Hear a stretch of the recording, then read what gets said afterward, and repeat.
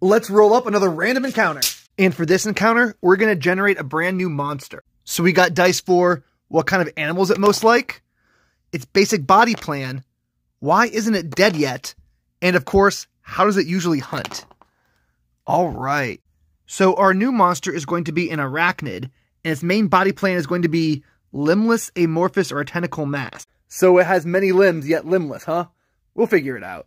It's not dead yet because it's newly introduced to the area, and it hunts in packs or family groups. And we got one more hint. 10?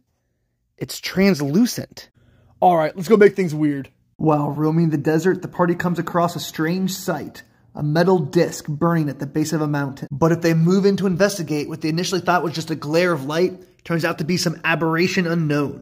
Utterly bizarre, it has a segmented body, tentacles for arms, and surprise multiplies when it splits itself into many smaller versions. Stat block coming soon. Sub for more.